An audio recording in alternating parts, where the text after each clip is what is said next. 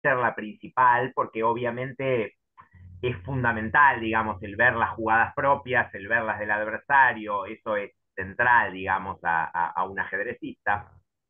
Pero hay otras dos cosas, que son los conceptos y la intuición.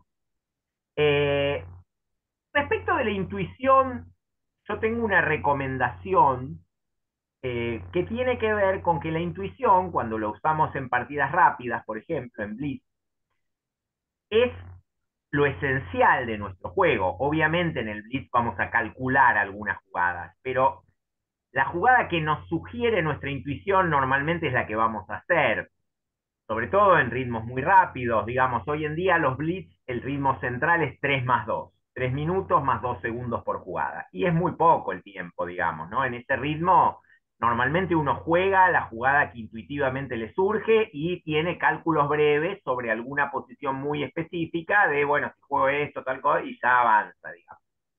Ahora, en la partida pensada, la intuición eh, no para todos es igual, hay jugadores que se basan más en la intuición y otros menos. Pero yo creo que hay una recomendación bastante importante que se le puede hacer a todos, que es que la intuición tiene que ir al final. Al principio puede ser la que sugiera jugadas candidatas. Eso está bien. Nos sugiere dos, tres movimientos posibles. Correcto. Pero no hay que confiar en la intuición que nos sugiera un movimiento y que nos sugiera, y yo creo que esta es mi mejor jugada, y creo que la respuesta de mi rival es esta otra. Y la siguiente mía es esta, y así estamos confiándole a la intuición el encontrar cada vez la mejor jugada propia y del adversario, y nos basamos el cálculo en esa intuición. Esto es lo que yo llamo cálculo largo. Es decir, arranco por una jugada, considero que el otro tiene que hacer esta, yo hago la otra, yo hago la otra, y en un momento estoy en la jugada 4 o 5 de una sola variante. Yo siempre digo que el cálculo correcto tiende a ser un cálculo ancho, en donde yo miro más de un movimiento mío y en lo posible más de una respuesta del otro a mis movimientos. El árbol de análisis que yo estoy armando entonces tiene varias ramas si yo solamente veo tres candidatas mías y a cada una de ellas dos respuestas de mi rival, ya tengo seis ramitas. Tres por dos, se multiplican. Cada una de mis posibilidades tiene dos respuestas. Ya tengo seis pequeñas ramas. Y dentro de esto, podría completar, digamos, haciendo, viendo una o dos jugadas, quizás solo una por ahí en mi tercer, en mi, en mi segundo movimiento. Bueno, eso sería un, un, un análisis ancho. Seis ramas, ocho ramas, quizás haya algunos movimientos en los que a mi jugada y la respuesta del otro tengo que considerar dos posibilidades, bueno, pero cortas. Si después de eso yo creo que hay una de esas ramas que es fundamental profundizar, bueno, ok, entonces profundizo.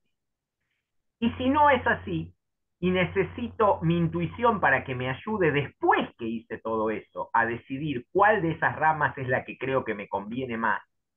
Ese es el modo correcto de utilizar la intuición. ¿Por qué? Porque la intuición, si yo la utilizo de entrada buscando mi mejor jugada y la mejor del otro, tiende a quedar un poco circunscripta a una idea inicial nada más. En cambio, cuando yo me obligo a buscar candidatas para mí y para el otro, estoy viendo más cosas de la posición, estoy viendo bastantes opciones para mí y para mi rival. Y mi intuición está enriquecida después de esto. Yo ya vi ideas distintas y en general tiene más posibilidades de dar con una solución correcta. Esto para el uso de la intuición. Es una recomendación, por supuesto, pequeña, porque bueno, estoy diciendo en unas pocas palabras, en tres minutos, el uso de un elemento tan importante como la intuición, que cada persona lo usará de una manera, en cada situación irá distinto. Pero me parece que mi experiencia de jugador y de entrenador me dice que es una recomendación que suma bastante a la hora de pensar en el ajedrez. El hecho de tratar de ampliar el panorama, analizar distintas cosas. Y vamos a los conceptos, que es lo que vamos a tratar hoy. De conceptos hay distinto tipo. Por ejemplo, en los temas de evaluación, uno utiliza muchos conceptos. El pensar quién está mejor en cuanto a la seguridad del rey, quién tiene más espacio, quién tiene mejor estructura de peones. Son todos conceptos. Pero hay más conceptos. Por ejemplo, un concepto muy importante para desarrollar los conocimientos ajedrecísticos son las analogías. Situaciones que son comparables a otras. Y eso es lo que vamos a trabajar hoy. Vamos a mostrar una partida referida a cómo podemos nosotros orientarnos utilizando las analogías. Para empezar, y ahora sí ya pronto vamos a ir a la partida, la elección mía de la partida tiene que ver con una analogía. Vamos a partir de una apertura, y esta es una de las analogías más importantes que utilizamos los ajedrecistas, que son las que son de aperturas similares, que vimos la clase pasada. La clase pasada la vimos en la partida de las semifinales, que le dije que era la mejor partida de las semifinales, la que Valerga le ganaba a Villarreal. Eh, y esta partida, digamos, me dio pie a recordar una partida, creo que la mencioné el otro día, que hubo un Kasparov-Karpov en una posición bastante avanzada en la jugada 12, recién se varía respecto de la partida de, de Valerga, que tuvo la misma apertura, es una partida bastante famosa, una partida de, un final de, un título mundial del año 86, eh, que, marcó prácticamente la victoria de Kasparov a partir de esa partida que gana, ya queda el match casi definido, queda muy poco para terminar y esa victoria fue decisiva. Eh, y la partida empieza toda igual. Y ahí vamos a ver en qué cosas nosotros podemos orientarnos como similares con la partida de Valerga. Incluso en algún momento nos vamos a detener un poquito en verla de Valerga, un segundo, repasar no toda la partida, pero alguna parte, para recordar un poquito lo que vimos la vez pasada, ver qué puntos pueden ser similares, y después vamos a ampliar el tema de las analogías a cierto tipo de posiciones que ustedes mismos van a tratar de descubrir en qué se parecen las que vamos a ver. Pero les voy a mostrar, no partidas enteras, pero les voy a mostrar a partir de una posición que surge en la partida de Kasparov-Karpov, cinco posiciones distintas de otras cinco partidas, solamente la posición y ustedes van a ver en qué sentido se parecen y cómo un ajedrecista profesional se orienta en ese tipo de parecidos. Algunos de ustedes van a encontrar los parecidos claros, los que son más experimentados, y a otros les parecería raro quizás decir que esto es parecido a aquello. Pueden decir, ¿parecido en qué? Ah, veo un montón de cosas distintas. Pero van a ver que lo vamos a ir comprendiendo cuando lo vayamos trabajando. Después vamos a tener también una parte de cálculo porque el final de la partida, digamos, es muy interesante, pero sobre todo el final es de cálculo. En el resto vamos a ver mucho, vamos a trabajar estas cosas. Vamos a hablar de algunas jugadas, pero no va a ser tan esencial, no nos vamos a detener tanto tiempo en si juega esto y responde aquello como lo hacemos normalmente, que trabajamos mucho el cálculo. Vamos a hablar hoy un poco más de los conceptos y en particular de este tema de las analogías. Bueno, ahora sí, comparto pantalla, de paso salimos un poco de la actualidad, ya que estuvimos viendo muchas partidas de, actualidad. Y nos concentramos en una partida del año 86, Kasparov-Karpov, uno de los duelos, probablemente el duelo más importante de ajedrecistas que haya existido en la historia del ajedrez, Karpov-Kasparov, Kasparov-Karpov. Han jugado, creo que más de 170 partidas entre los cinco matches por el título mundial, más partidas de torneos. Eh, es muy interesante saber que Kasparov eh, ha logrado una victoria contundente sobre Karpov en el plano deportivo. No así en el tanteador, porque en el tanteador, no lo recuerdo exacto, pero en 170 partidas le debe llevar una ventaja como de cuatro puntos, por ejemplo, no es nada, digamos, ¿no? O sea, eh, es como ir 87-83, una cosa así, ¿no? Contando un montón de tablas, por supuesto, sumando entre eso no solo las victorias, sino las victorias y los empates. Desde el punto de vista del tanteador, la ventaja es mínima. Pero jugaron cinco matches por el título mundial. Eh, el primero de ellos se detuvo. Solo dos partidas le lleva, dice Jorge. Bueno, menos. Yo decía cuatro, lleva solo dos. Bueno. Eh, no es nada, dos partidas, será 86-84, no, no es 170 el número exacto, pero es como si fuera algo así. Bueno, nada. Eh, ahora bien, jugaron cinco matches.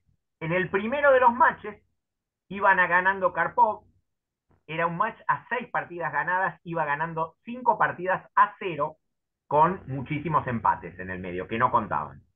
Bueno, el match estaba definido.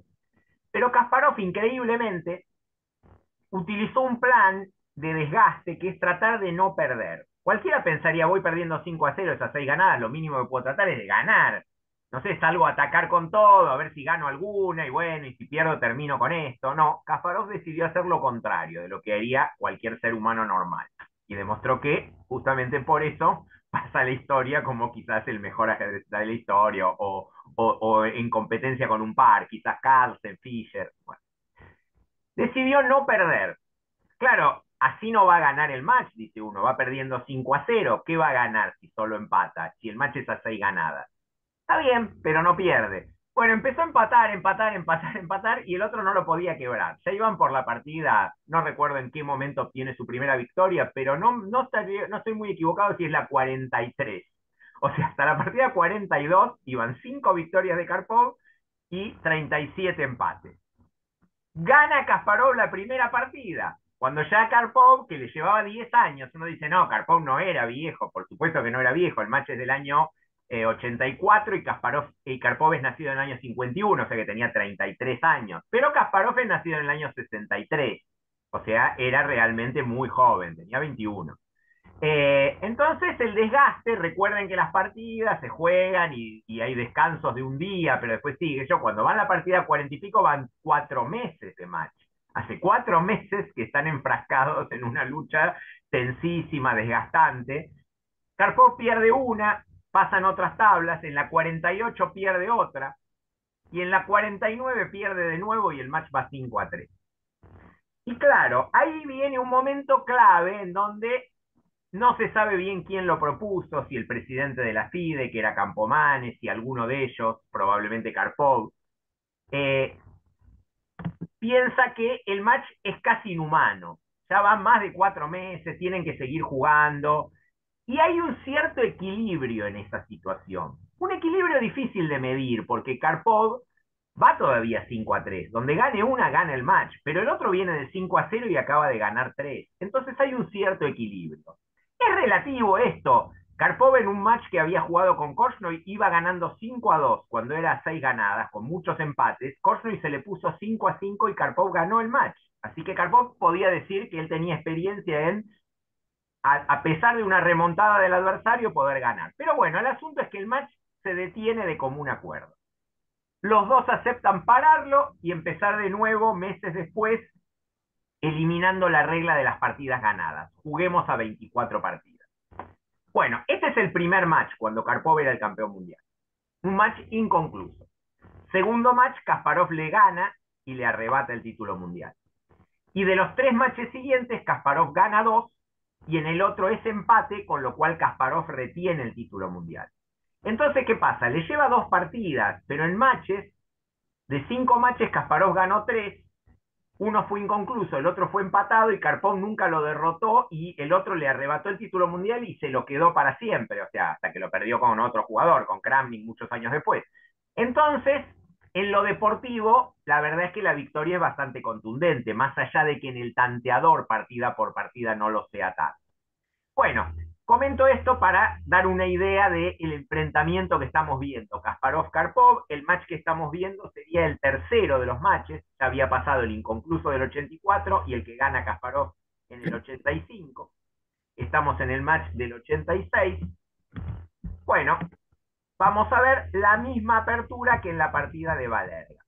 Voy a avanzar hasta esa partida. Recuerdan que se produjo este mismo cambio todo esto es igual, y hasta acá todo es igual. Valerga aquí jugó caballo E4, y voy a mostrar brevemente esto porque en la partida Kasparov juega H3. Caballo E4, peón por, caballo por. Esta fue la partida de Valerga. Y no sé si ustedes recuerdan, solo quería llegar hasta acá, que hablamos de que caballo de 7 aquí fue una ligera imprecisión. Trataba el caballo de ir a E5 y el blanco jugó F4 y el caballo vino a defender, pero después de F5 se quedó sin casillas. Y a partir de allí les muestro una jugada más, el blanco metió el caballo en E6 y bueno, el negro sufrió toda la partida hasta que perdió. Curiosamente decimos entonces ese error, primer pequeño error, caballo de 7, bueno. Ahora veamos, volvamos un poco a la partida de Kasparov y vemos que Kasparov jugó otro plan, jugó H3. la verdad es que luego de E por D, E por D, ya no se parece tanto la posición, porque, y voy a dar un primer dato sobre el tema de las analogías, una de las cosas que mira un ajedrecista a la hora de comparar una posición con otra tiende a ser el centro de peones. ¿Cómo está? ¿Está parecido a la otra partida o no? Y acá hay alguna diferencia importante.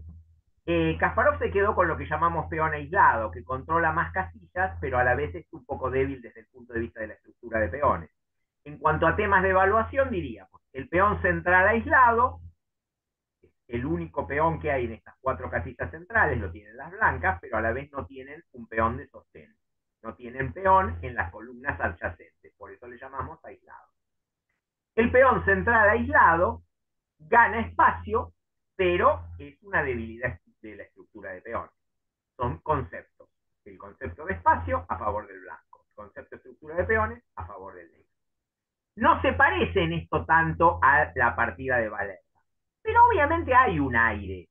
Hay un material parecido. Tampoco la, la situación de peones es tan distinta. Estaba este peón en E3, todo lo demás está más o menos igual.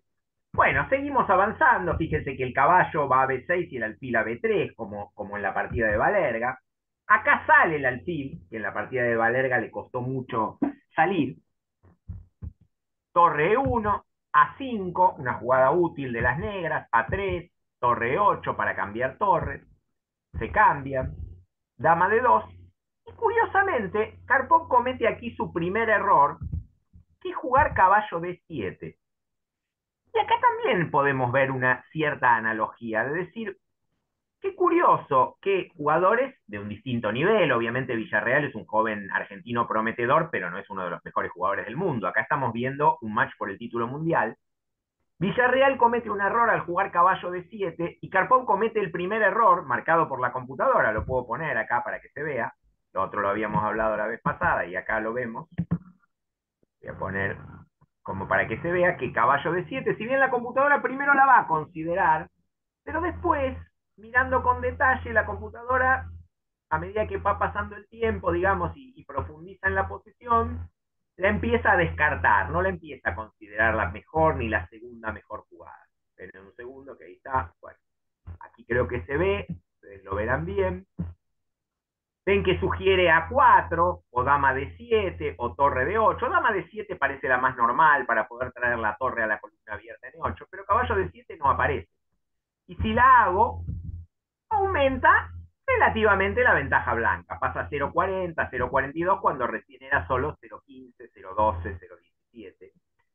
Entonces podemos contar como un primer error esto. Lo mismo que en la otra partida.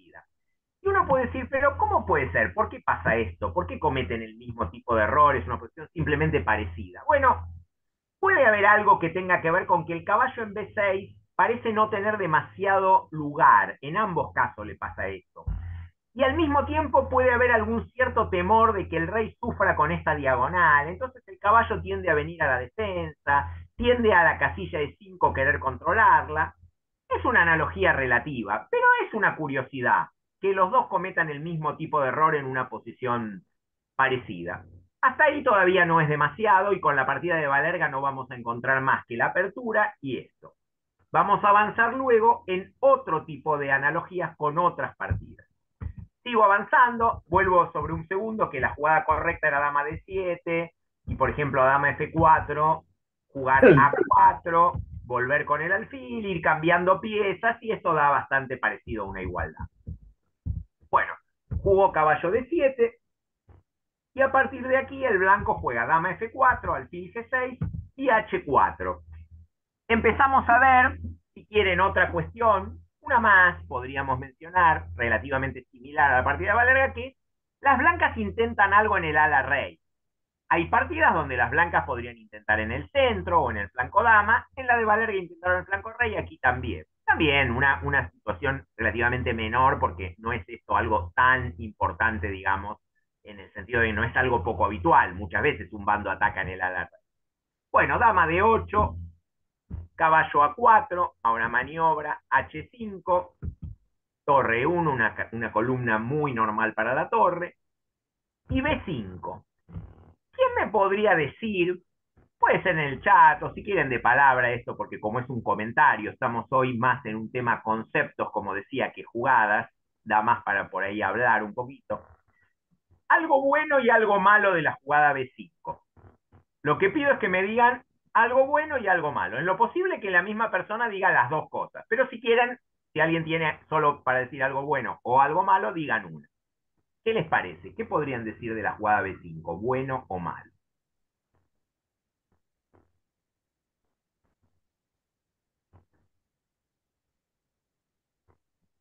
Me parece que el B5 genera una debilidad en C6. Correcto, Juan. Lo malo de B5 es exactamente lo que dijo Juan. El peón de C6 pasa a estar un poco débil. Está en una columna semiabierta y queda retrasado. Fíjense que recién, en la jugada anterior, este peón no tenía ningún tipo de debilidad. ¿Qué sentido tendría tratar de atacarlo por una columna si el peón está defendido por otro peón? Pero al avanzar a B5, el peón de C6 pasa a ser un peón relativamente débil. Es decir, las negras con la jugada B5 como cosa mala, acaban de empeorar su estructura de peores. ¿Quién me dice ahora algo bueno de la jugada B5? que, captura el caballo, el peón. Ataca al caballo, María Graciela, exactamente. Por ahora no lo captura, pero lo ataca. Sí, lo ataca, pero... Correcto, ataca al caballo. El caballo cuando salga puede atacar al alfil caballo cuando salga puede atacar al alfil. Puede, el peón, el peón de la ah, columna A puede atacar al alfil. Podría ah, continuar esa maniobra de iniciativa, es cierto, Guillermo. Podría continuar la maniobra de iniciativa, aparte de atacar el caballo, con el otro peón podría atacar el alfil. Jorge creo que iba a decir algo, no sé. Sí, no, yo lo que decía que aparte al caballo lo hace volver al mismo lugar donde lo movió la primera vez. Está correcto lo de Jorge. También tenemos que mirar, cuando, cuando decimos correctamente, como dijo María Graciela y como acompañó Guillermo con un concepto que es el de iniciativa, de algún modo el negro está tomando como una especie de iniciativa, digamos, en la posición. También es importante mirar, como lo dijimos primero, las jugadas del adversario.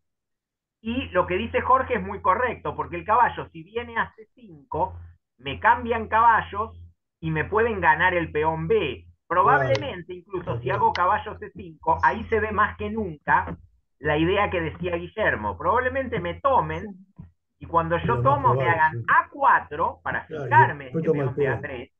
Cuando me voy, me coman el peón de B2 y encima me ataquen el peón de A3 fijado por el peón de A4 previamente y encima con, con, posibilidad de empezar a avanzar estos peones, ¿no? Porque el peón está apoyado por la torre, hay un riesgo, digamos, en la posición de que se desequilibre mucho a favor del negro.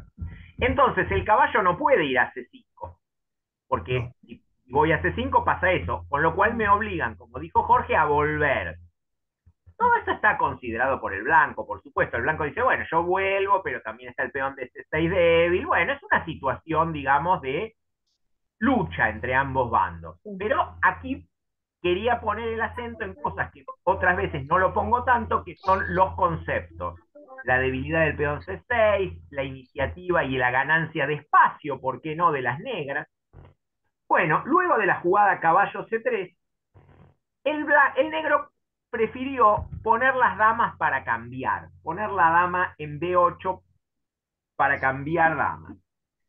Bueno, fíjense ustedes que el blanco rehuyó el cambio, pero si cambiara damas, acá nos podemos ver un poco estos conceptos de iniciativa que decíamos, por ejemplo, me eliminan el caballo, me juegan A4 y me juegan C5 ahora, para atacar otra vez el peón de D4 y el peón de B2, acompañado del avance de las mm. piezas negras, los peones negros en el flanco dama. Bueno, aquí tenemos, digamos, aquí estaría un poco mejor el negro. Acá tenemos algunas ideas donde las negras pueden progresar si el blanco cambiar a damas. El blanco no cambió, Kasparov jugó correctamente dama de 3.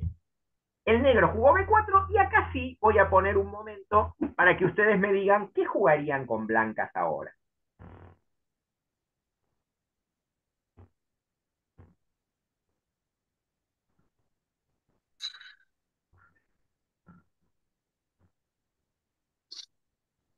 Gaby, no puedo contestar ahora, estoy en la clase de ajedrez. Después te llamo. A ver, veamos. Carlos dice caballo E4 y Guillermo comería el peón, peón por peón. Larisa dice G3. Bueno, Larisa, el tema de G3 es que tenemos amenazado el caballo de C3. Carlos se iría sin comer el peón. Y Guillermo Caballo. comería. A ver, ¿qué opinan? Mario también comería. Bueno, esas son las dos jugadas principales. Comer o jugar caballo de 4. Y tenemos dos votos para cada una. Carlos y Julio votan caballo de 4. Y Mario y Guillermo votan comer el peón. Larisa se suma a caballo de 4, Jorge se suma a caballo de 4, va ganando caballo de 4 y caballo de 4 es la mejor. El problema de comer, que parece una jugada obviamente normal, es que después de la toma de dama es la bastante molesta la gestión. Me amenazan el alfil, Claro. detrás está el peón, y la verdad es que ya es una posición ventajosa para el negro. Se activa mucho la dama negra, y entonces eh, las blancas terminan sufriendo esta situación. No puedo ahora jugar caballo de 4, por ejemplo. No puedo jugar en este orden caballo de 4, porque me hacen alfil por caballo, y cuando hago dama por alfil me comen el otro alfil. Entonces no puedo hacerlo en este orden. Bueno, muy bien. Y en algún momento de la partida le puede quedar libre la columna A también. En algún momento, exactamente. Bueno, entonces, ¿qué jugó el blanco? Jugó caballo E4, a lo cual siguió B por A y la intermedia caballo por F6 aquí. Caballo por y B por A. Y hemos llegado a esta posición. La posición no tiene nada de particular. Es una posición muy tranquila en la cual las blancas tienen una mínima ventaja. Hasta aquí la partida podía haber terminado en, en tablas como han terminado montones de partidas estrellas. Pronto vamos a ver que hay algunas características que se van a producir pronto. Caballo de 5. Bueno, el blanco toma alfil por D5 y el negro toma peón por. Y aquí vamos a trabajar con el tema de las analogías. Bueno, vamos a ver qué analogías podemos hacer en esta posición. Yo les voy a mostrar ahora algunas posiciones y ustedes me van a decir ¿En qué creen que se parecen esas posiciones? Sobre todo vamos con la primera. Voy a ir a buscar la partida. Vamos a ver. Y lo que vamos a buscar nosotros es en qué se parece. Miren esta posición lo más detenidamente que puedan. Ahora yo la voy a cambiar por una posición de otra partida. Yo voy a simplemente cliquear y la posición se va a cambiar completamente a una partida por un match por el título mundial entre Botvinnik y Petrosian del año 63. Traten de fijar ahora que, cuáles les parecen los elementos principales de esta partida para verla parecida o no con otra. Y yo ahora, cuando ponga el, el- la otra posición, que se va a cambiar todo el tablero de golpe, no vamos a ver cómo llegó la otra posición, ustedes van a tratar de qué similitud encuentran en la otra partida. Bueno, aquí va, ¿eh? miren bien, y aquí va, cambia completamente.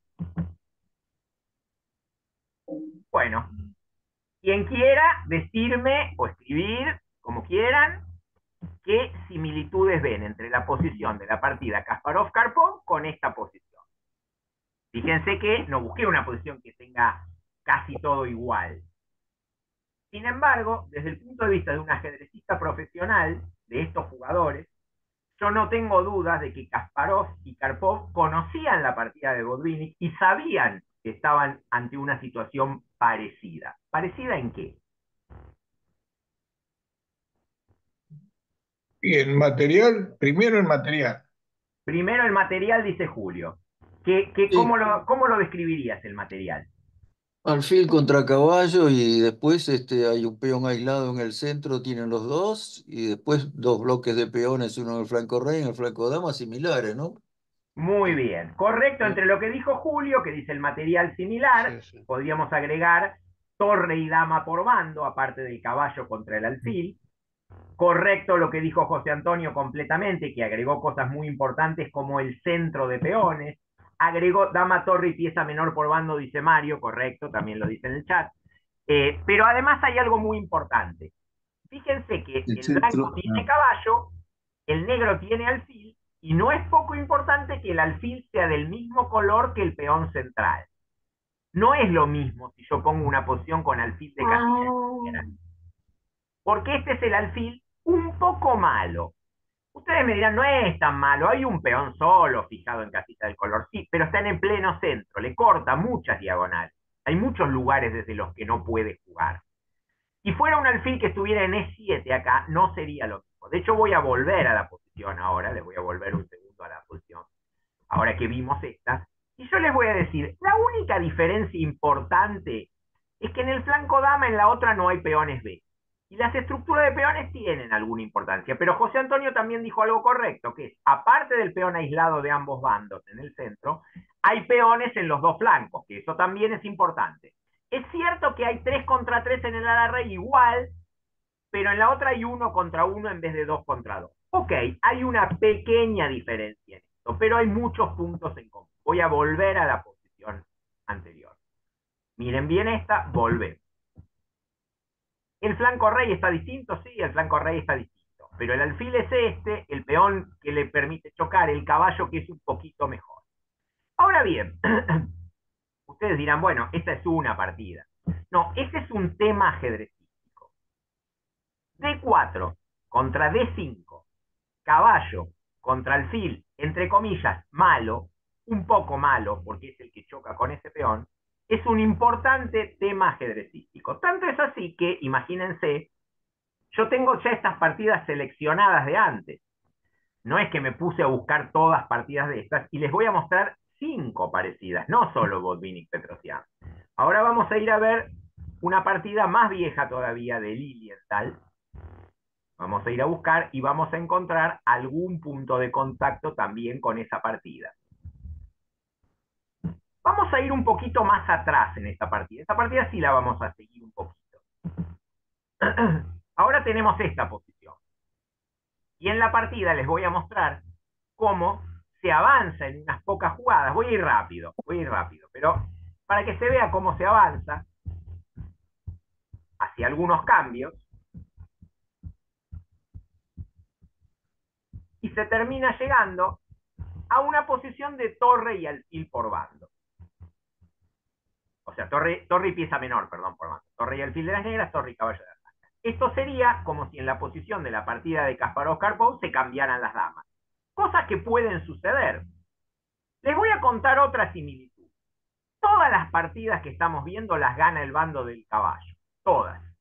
No hay ninguna que haya sido ni siquiera tablas.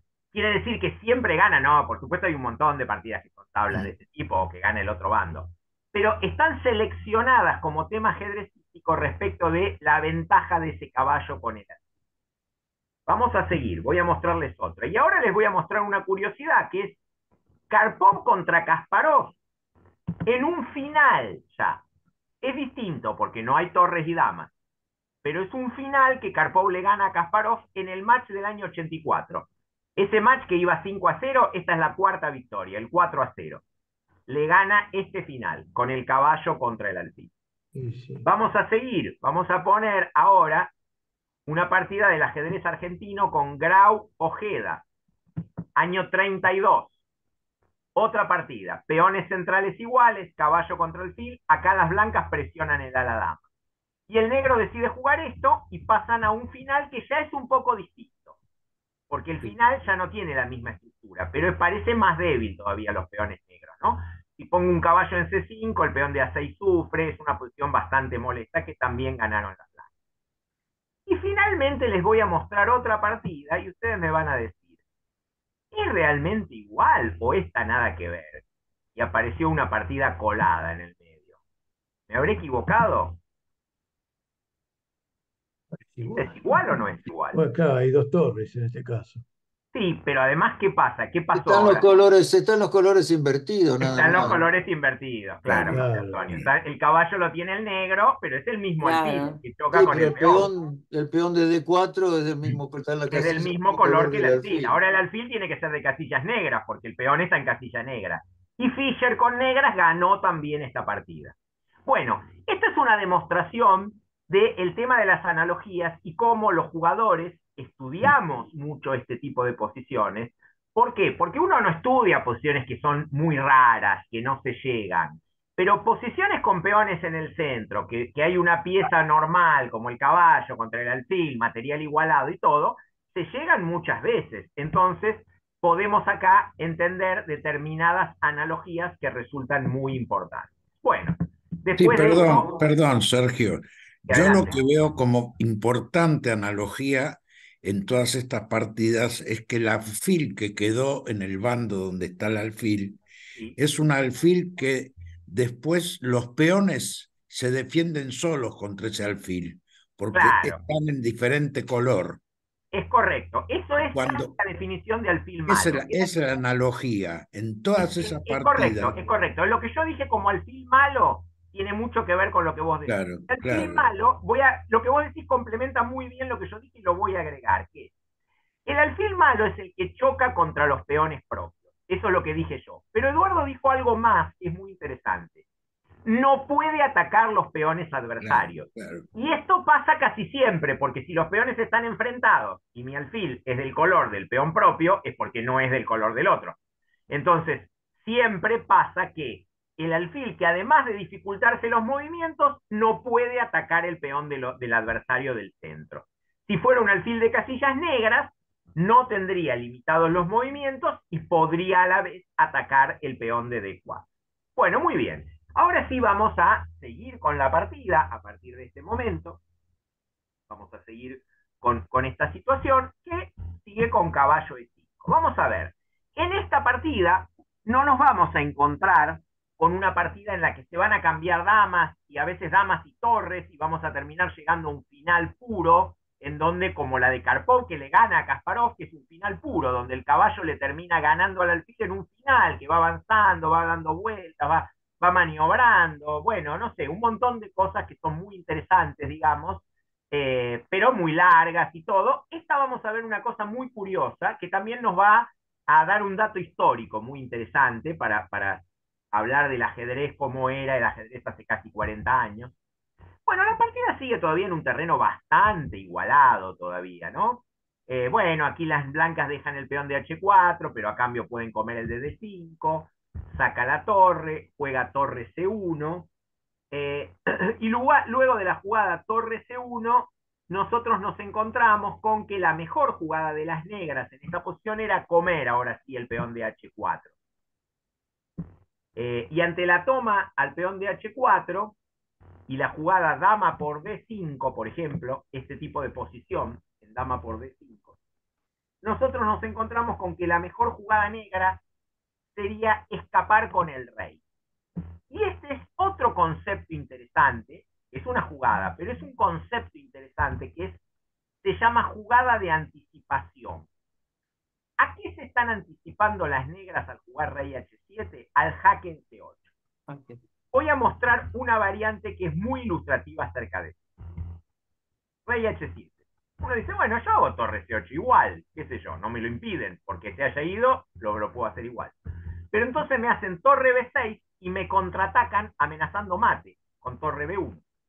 Y esta posición resulta ser buena para él. ¿Por qué? Porque yo ahora tengo que defenderme de eso, no puedo seguir atacando. Y uno dice, bueno, ¿y por qué no puedo yo hacer torre B6 primero? ¿Qué pasa si hago primero la jugada torre B6 y cuando me den jaque hago rey H7? Naturalmente que si el blanco juega torre C8 jaque, la posición es la misma, así que no puede haber ninguna diferencia. Pero el blanco juega caballo F3, amenaza a la dama, y fíjense qué grave que es esto. Porque la dama tiene que seguir controlando la casilla de 8 para que no me jueguen dama jaque y dama por torre. Entonces, por ejemplo, la dama se va, bueno, si se va acá, me comen la torre.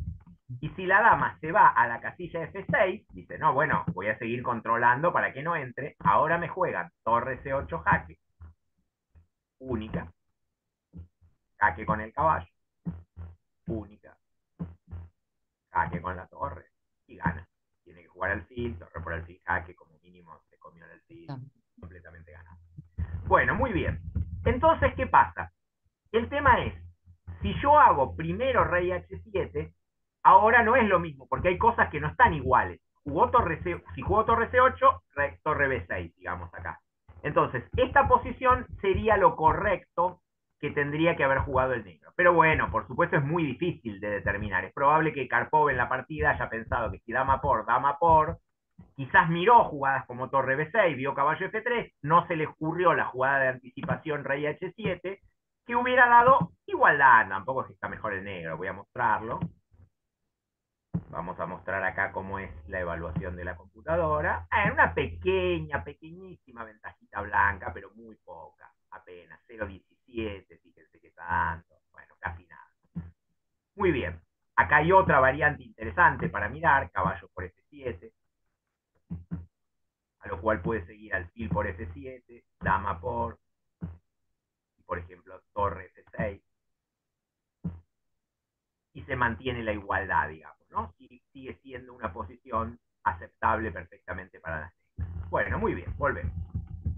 Es difícil tomar estas decisiones en una partida. Quizás piensa que el peón de D5 vale más que el de H4. No lo hizo. Jugó rey H7 directamente. A ver, tenemos algo en el chat. La jugada de anticipación no es el mismo concepto que jugada profiláctica. No es exactamente, Jorge Luis, aunque de algún modo tienen que ver. Profiláctica es cualquier jugada que esté de algún modo, lo voy a decir de esta manera, está muy bien tu pregunta. Diría que jugada de anticipación es un subrubro dentro de las jugadas profilácticas. Es decir, es una jugada profiláctica, pero no todas las jugadas profilácticas son jugadas de anticipación. Yo, por jugada profiláctica entendemos un movimiento que está destinado a evitar el plan del otro.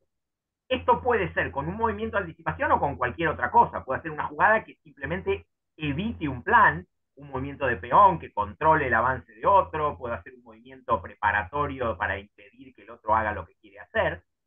En cambio, de anticipación quiere decir, una jugada que yo después me voy a ver obligado a realizar, la hago primero. Y de algún modo es una profilaxis del plan rival, así que sí es una jugada profiláctica. Pero no es un subgrupo dentro de las profilácticas. Hay un montón de jugadas profilácticas que nada que ver con jugadas de anticipación, que tienden a evitar el plan rival nada más. Eh, así que está bien tu pregunta, sería como un grupo. Bueno, muy bien.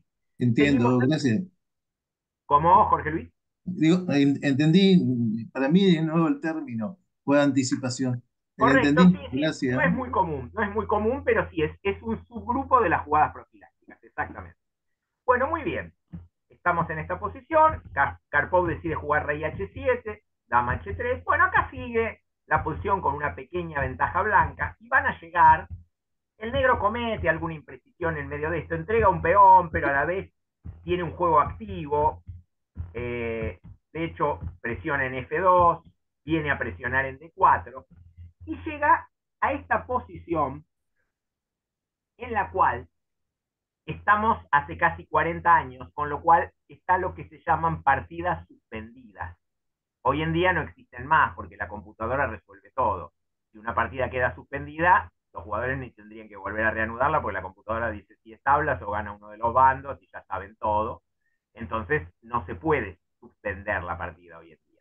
Pero en esa época todavía no estaban las computadoras y se suspendían. Llegamos a la jugada 40, que era el momento del control de tiempo y el momento de la suspensión de la partida. Kasparov empieza a pensar su jugada, que es la jugada que va a dejar bajo sobre. Cuando las, jugadas, las partidas eran suspendidas, el jugador anotaba la jugada en la planilla, se guardaba en un sobre, eso quedaba para el árbitro, nadie sabía qué jugada había anotado, y los jugadores pasaban a analizar la posición que había quedado. El que había hecho la jugada sabía qué jugada había hecho, pero a la vez le tocaba al otro, porque esa jugada ya él no la podía cambiar. Y el otro, que es el que va a mover primero cuando vuelvan a jugar después de estudiar la posición, no sabía qué jugada había hecho el adversario. Entonces había un cierto equilibrio de fuerzas. ninguno de los dos sabe exactamente qué tiene que jugar. Uno no sabe cómo está la posición actual, el otro sabe cómo está, pero le toca al adversario. Entonces estaba ese tema de la jugada sellada. Bueno, Kasparov hace una jugada sellada brillante que gana la partida forzadamente, piensa mucho tiempo y encuentra una victoria forzada que ninguno de sus ayudantes, los que después lo ayudaron a analizar la partida, había encontrado. Eh, todos lo miran a Kasparov como, bueno, parece que está la posición y Kasparov dice, creo que encontré una victoria forzada. Y cuando van a analizar, Kasparov tiene razón. Karpov en sus análisis lo encuentra también y llega al día siguiente y ya sabe que va a perder, y es que la sellada es esa porque Karpov todavía tiene confianza en quizás no la hizo, quizás hizo otra. Pero cuando ve que la sellada es esa, ya sabe que va a perder. Bueno, ahora sí vamos a la parte de cálculo. Juegan las blancas, encuentren la mejor jugada. No hay nada más que lograr encontrar la jugada de Kasparov. No les pido ninguna tarea difícil. Mm-hmm.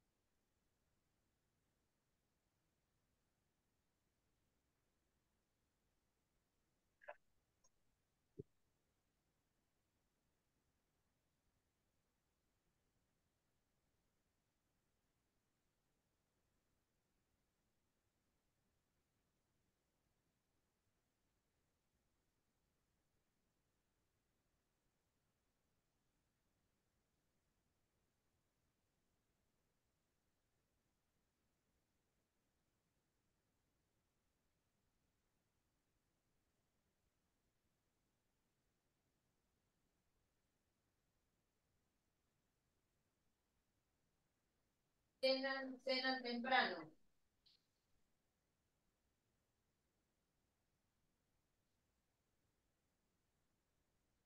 No, yo digo la cena. tenemos algo en el chat. Caballo por G6, dice Jorge Luis. Bueno, a caballo por G6, supongo que la respuesta es dama por G6. Y. Peón F4, peón F4, bueno, ahora vamos, Eduardo, dame un segundo que vamos primero con la, con la jugada. Ah, ya vamos. Eh, caballo por G6. Bueno, acá hay un punto. Hay variantes parecidas en algunos casos. Que cuando llegan a los finales de torres, vamos a agregar otro concepto, uno bastante gracioso de Tartakower, que decía: los finales de torres son siempre tablas. Que obviamente es una ironía, quiere decir que muchas partidas son tablas pese a alguna ventaja material, digamos, ¿no? Entonces, en este caso, está el tema de que esa posición probablemente fuera tabla. Dama G5 dice Claudio. Eh, dama G5 te cambian damas y te comen el peón D y la ventaja esa no parece suficiente para ganar en este caso. Al haberse eliminado el peón D, este alfil no va a ser tan malo, si lo cambias es un final de torres, y si no, ya hay peón libre, no es una posición que el negro tenga nada que temer. Kasparov concibe una idea que está relacionada con el ataque de mate. ¿Con el ataque de? Mate. Mm.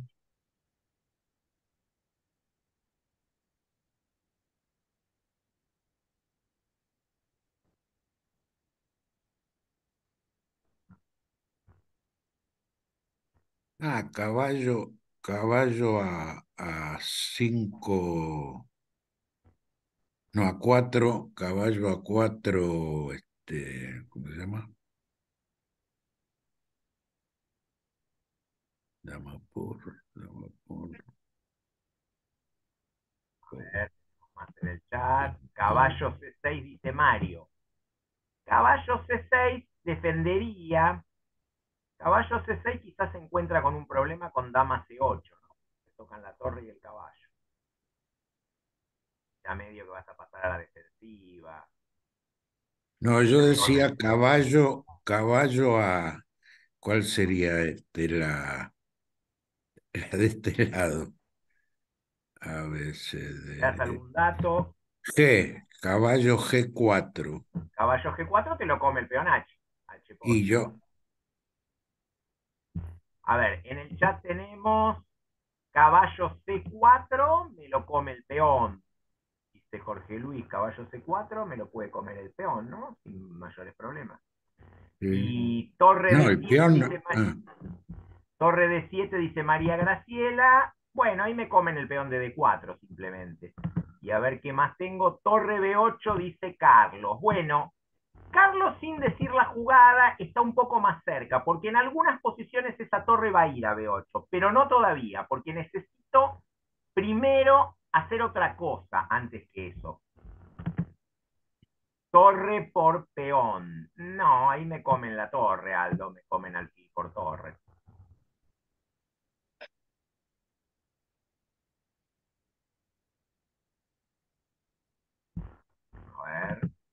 Caballo B7. Caballo B7, dice Jorge, y está en lo correcto. Caballo B7. ¿Para qué es caballo B7? Bueno, el otro va a comer el peón, y no igual no tiene mucha defensa. ¿eh? Comer el peón es importante para tener la jugada dama F4 y cambiar damas a veces. Muestro muy brevemente cómo perdería otra jugada. Por ejemplo, torre de 3. Jaque. ¿Y ahora dónde voy? Si voy hacia abajo me van a hacer torre B8 y no puedo escapar de que me coman acá. Y si hago esto, me juegan torre 8 igual y me amenazan caballo por alfil y torre H8 y no lo puedo parar. No puedo parar el mate. Me van a dar mate, me van a tomar y me van a hacer torre H8. Bueno, muy bien. Entonces, ¿qué pasa?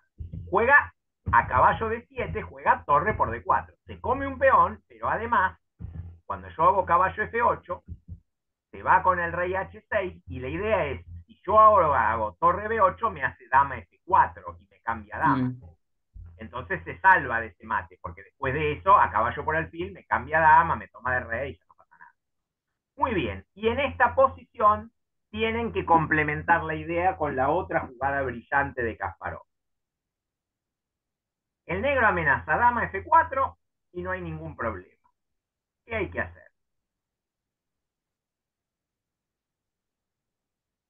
Eh, puede ser este torre B4. Muy bien, Jorge. Torre B4. Bueno, ahora Kasparov debió calcular antes de la suspendida este final. Karpov ya no lo jugó porque recuerden que la partida fue suspendida, analizó todo, pero ¿qué pasa si me toman y me avanza el peón? No es fácil para el blanco parar ese peón, va a seguir avanzando, pero él avanza el suyo y el otro avanza y este avanza. ¿Y quién corona primero? ¿Qué dicen? El negro, ¿no? Sí, sí, el negro corona primero. pero el blanco está ganado. Juega el negro con dos damas y no puede hacer nada. Está No completamente perdido. Le amenazan caballo por alfil y dama H8 y no tiene nada para hacer.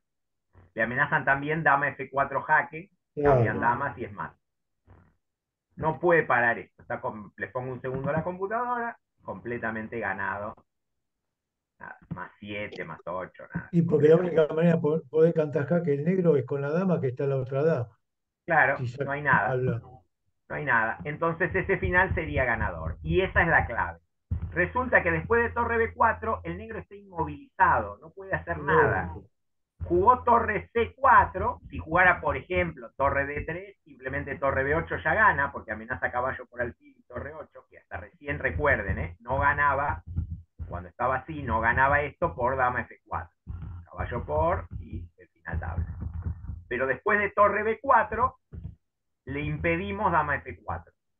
Claro. Entonces, si saca la torre, listo, vuelvo a B8 y ya gané, porque no hay dama F4, ya le saqué la torre del lugar. Si cambia, ese final que dijimos. Y ganó. Y finalmente, la que jugó Karpov, torre C4 que no alcanza. Torre por torre, peón por, dama No. D6. ¿Para qué es dama D6? Amenaza dama D2, mate. Bueno, Y está controlado los jaques del negro. No me puede dar ningún jaque. Entonces juega C3. Y ahora juega dama D4, amenazando dama E3 mate, otra vez.